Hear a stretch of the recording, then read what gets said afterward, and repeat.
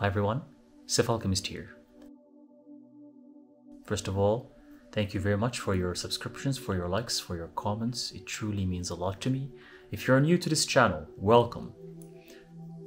I address occult knowledge, I offer tarot readings, and many other occult sciences that I share with everyone in this channel. So if you're new, welcome.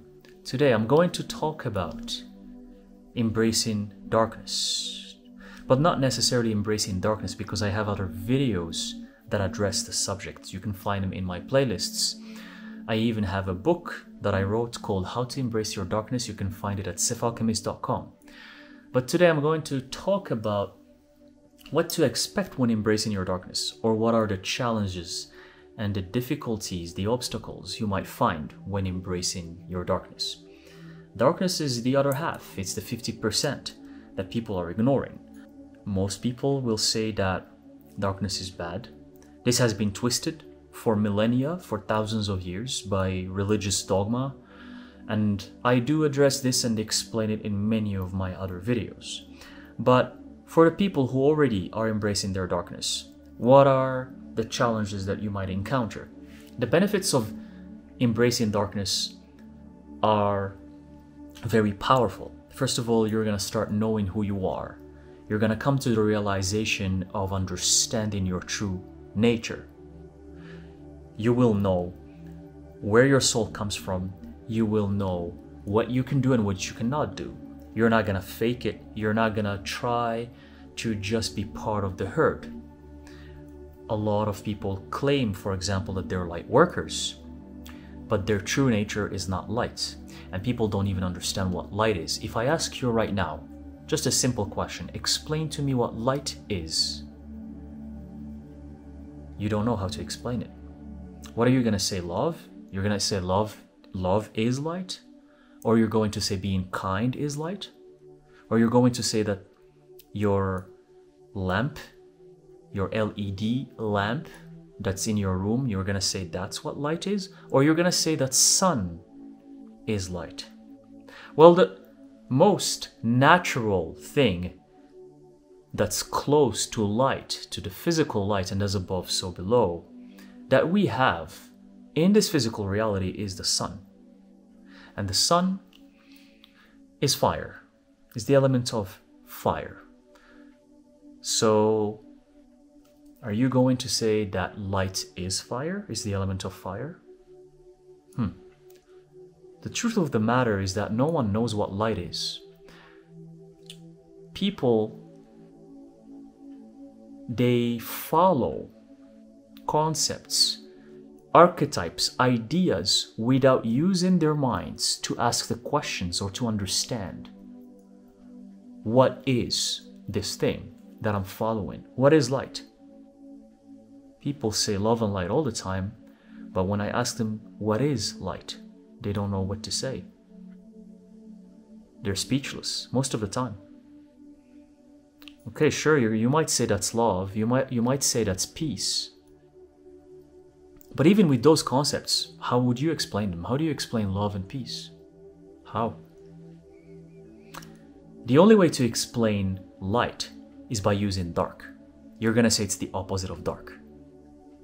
That's probably the best explanation, meaning that dark is important. Meaning that if you don't understand darkness, if you don't embrace it, you will never know what light is. Never. Never. And the people who always say that dark is something bad, and oh, I'm embracing my darkness, that means, oh, the bad things I did before. That's not what darkness is. So, without veering off too much from what I'm trying to address in this video, I'm gonna come back to the challenges of embracing darkness. Once you embrace your darkness, you become powerful. And you become confident and nothing becomes scary to you. One of the most beneficial things of embracing darkness is the fact that you get rid of fear. Fear becomes an illusion, it becomes something so just um, faded in your life. I'm not scared of anything. I'm not scared of death. I'm not scared of spirits, of ghosts, of demons, let alone humans. Nothing scares me. Nothing. Because I know who I am. I'm embracing my darkness because I come from darkness. But the challenges you might come across once you get to that state is that the first challenge is that you're you're going to find that no one can relate to you because everyone is following the herd. Now you're unique, you're special. Your friends might not understand you anymore. They might not speak the same language because you're at diff- uh, you're you're at a higher different level. You're almost reaching your higher self at all times. You're operating from a higher self level. And the people around you, your coworkers, your family members, your best friends, they just might not resonate or relate to you anymore because you're so different right now. When you start saying things that I'm not scared of anything, when you start saying things that um, I can talk to demons and spirits, I can assure you that many people are not going to relate. Because now you're already embracing your darkness, you're understanding who you are. Maybe you realize you're a witch, and now you're going to say it publicly out loud. And people around you, they're not going to like that. They're going to try to avoid you. They're going to try to not talk to you. It's okay, good riddance. You don't need them, trust me. But that's a challenge because you're going to find yourself alone. But here's the thing that's a challenge, that's an obstacle. But you need to know that being alone in itself is a powerful thing you have no distractions. You are not affected by the stupid rules of humanity.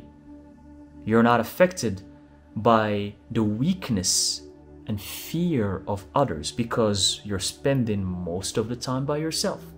So you are in direct contact with spirit, with the underworld.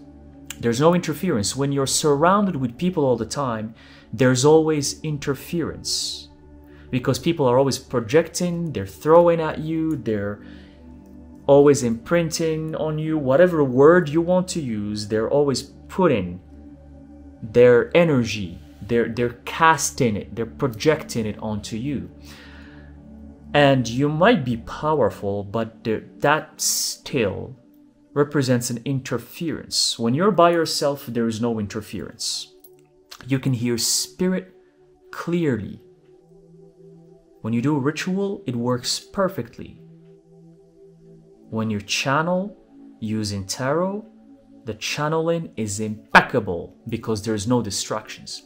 So the less filth and distractions you have in your life, the better it is. But that's challenging for people who are always relying on these connections. So embracing your darkness is going to lead you to becoming more alone and you might even find yourself in events and parties with a dozen of people or more. And you still feel alone because no one understands what you understands. No one sees what you see because embracing darkness meaning that you can see the underworld, you can feel it, you can sense it. You can see things that people are not seeing. Maybe in that party, you are sensing the spirit in the corner and you can even hear it, and no one else does. And another obstacle or another challenge is that not only you might find yourself alone, but you're gonna start having these kind of uh, um, hateful situations if you start sharing too much of who you are. Because one of the wisest things that a master can do is to remain silent in certain situations. When you get to embrace your darkness, you reach this this euphoric level of strength that it's hard to that it is so hard to explain that I rarely talk about it in my videos because it's just you know it only when you know it. It's hard to explain. And when you look at other people with their fears, you just feel like you're so distant from them. And people sense that. They can they can sense that this person is there's something off about them because they don't understand the power you're holding right now. So you might get hate for no reason. You might get rejection for no reason because you become intimidating. Embracing your darkness makes you so intimidating that people are gonna start rejecting you, hating you, not offering you things, just backing off. You're gonna only find very, very, very few people who are wanting to understand what is this thing that you have? What is it? And it's embracing darkness. I share what I share online because I'm reaching the world, because the only way to find similar people is to reach worldwide. Because if I relied on just trying to reach my environment that was around me many years ago, I wouldn't have found anything or anyone. And I tried. I'm speaking from experience. I tried and there was nothing. The only way to find similar uh, people who can either relate or understand a little bit of what you're talking about is to use this tool, which is called the internet. Use it to reach the world.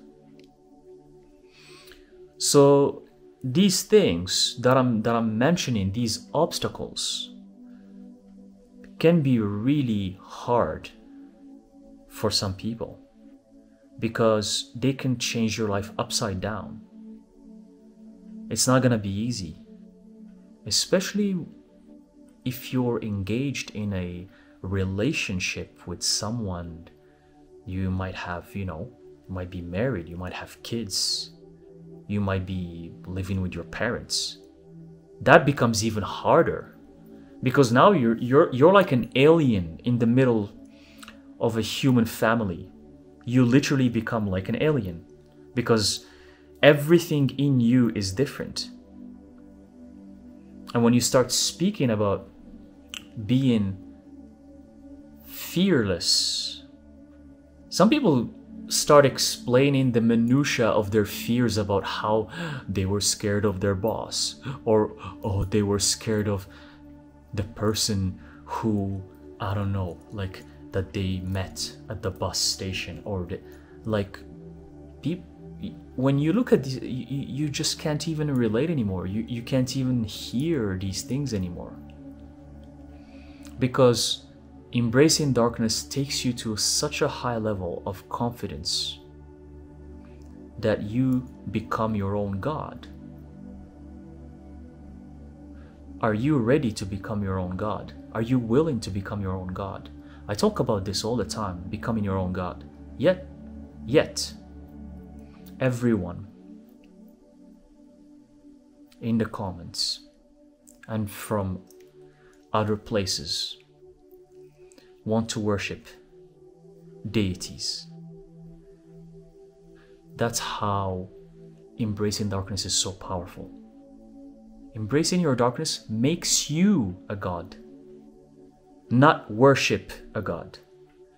And the proof that many people still don't understand embracing darkness is that no matter how much I explain it or talk about it, people still worship. They still feel inferior. When I talk about embracing darkness, I means you're at the level of Anubis. You're at the level of any other deity, of Poseidon, of Thoth. Are you willing to believe that? And are you ready for that? That's what comes with embracing darkness. And it is more so on a soul level than on a physical level. On a physical level, you might look like a mere human being, but I'm talking about a energetic, spiritual level. As a human, I look like a normal human. In the spirit realm, the things I can do are limitless you can present me with the most scary, powerful entity out there. and I'll burn them to ashes in the spirit realm. That's what embracing darkness makes you. It makes you a god.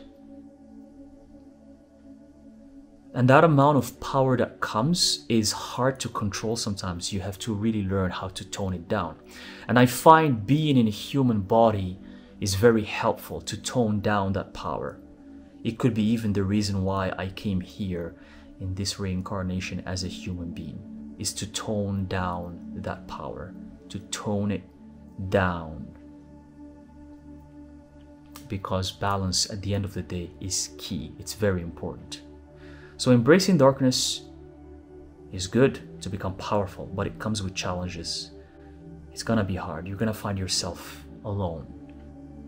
You're gonna feel like you're not a human being anymore, no matter what people say around you. We're all the same, we're all love, we're all oneness, we're all unity consciousness, we're all the same.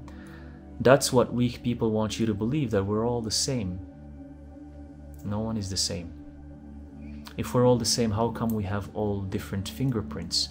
How come there's not a similar person to, to another that have the same fingerprints? Are we really all the same?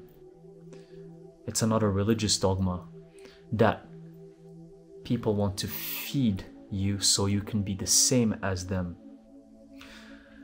But if you want to be like everyone else. If that gives you happiness, if you feel comfy and fluffy and fuzzy and warm by being with other people who are exactly the same, because hey, religion and New Age, that's what they want to make you believe that everybody's the same, that we're all the same. Might, might as well, let's all have the same name. How come we don't have the same name? Why do we even have names? Why do we have even different families and different. Why don't we just why don't we just like all have the same thing and make it a communist society? It's like communism. Communism says everything and everyone should have the same thing. So a lot of uh, contradictions, a lot of controversy, a lot of hypocrisy. We're all the same. But we have different names, we have different fingerprints, you make $10 million per year and I only make $30,000 per year. Huh. But we're all the same. We're all the same. Everyone is the same. Of course, we're all one thing. But deep inside is that misery that's lingering and eating you alive. And everybody's hiding it and suppressing it because they want to show their soul family that they're all the same. Embracing your darkness is gonna make you realize your true nature, who you truly are, that you're not the same, that you're not like everybody else, that you're very different, and that's gonna make you feel alone, or you're gonna become by yourself. But are you willing to do so? Those are the challenges. But for me, these are not challenges anymore. They were when I was weak when I was weak, they were challenges. When I became powerful, for me they are blessings because they allow me to reach new horizons of existence that I have never perceived before, at least as a human being. So it's up to you. Do you want the power or do you want to be like the rest? You choose. It's up to you. Embracing darkness is something amazing and I'm gonna keep talking about it and promoting it because it is necessary only for the people who are ready for it. And if you're ready for it, you will know. And you're probably watching this video. It means you're ready. Thank you very much. Let me know in the comments section what do you think about embracing darkness and what have you experienced after you started embracing your darkness? Thank you. I hope this helps and I'll see you in the next video.